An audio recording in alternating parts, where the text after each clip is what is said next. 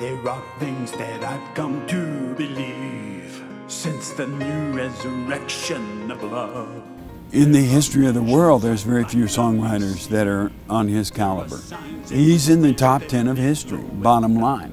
Even though Jim and I are completely opposites in personality, in artistic terms, we're almost one unit.